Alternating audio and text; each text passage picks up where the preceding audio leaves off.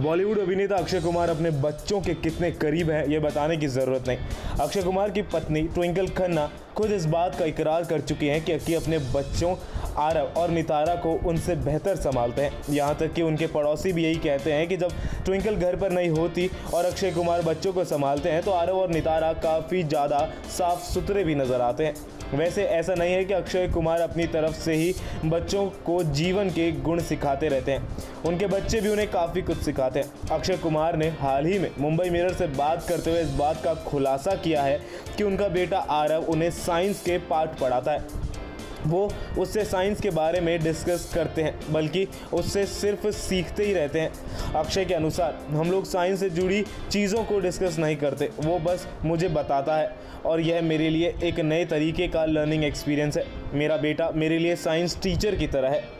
अक्षय कुमार इस समय अपनी नई फ़िल्म मिशन मंगल को प्रमोट करने में व्यस्त हैं, जिसके चलते वो लगातार मीडिया से मुलाकात कर रहे हैं। बीते दिनों, उन्होंने अपनी कमाई को लेकर भी बात की थी और कहा था कि वो अच्छा पैसा कमाने के लिए खून पसीना बहाते हैं। वहीं अब देखा जाए तो अक्षय कुमार की मिशन मंगल लोगों के बीच में काफ़ी पॉपुलर होती नज़र आ रही है। फ़िल्म मिशन मंगल में अक्षय कुमार के साथ सोनाक्षी सिन्हा, तापसी पन्नू, विद्या बालन, कृति कुल्हारी और शर्मन जोशी जैसे मंजे हुए कलाकार हैं। फ़िल्म मिशन मंगल भारत के पहले मिशन मंगल की कहानी दर्शकों के सामने पेश करेगी। फ़िल्म में अक्षय कुमार ने एक ऐसे वैज्ञानिक का किरदार निभाया है जो कि पूरे मिशन को डायरेक्ट करता है। आप कितने एक्साइटेड हैं इस फ़िल्म के लिए? और अक्षय कुमार के टीचर के बारे में आपका क्या कहना है? हमें कमेंट करके अपनी राय ज़रूर बताएँ।